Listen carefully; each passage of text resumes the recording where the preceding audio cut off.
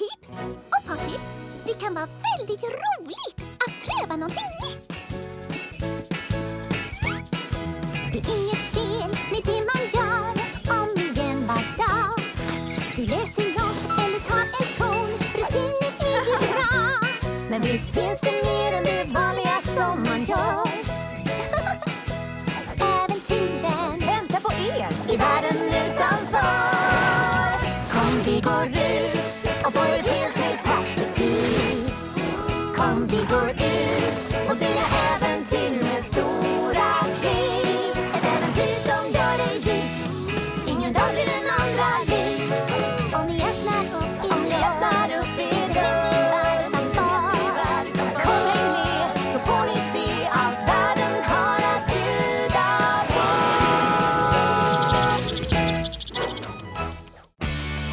Tryck på din skärm för fler videor och häng med till Disney Junior för att se dina favoritserier.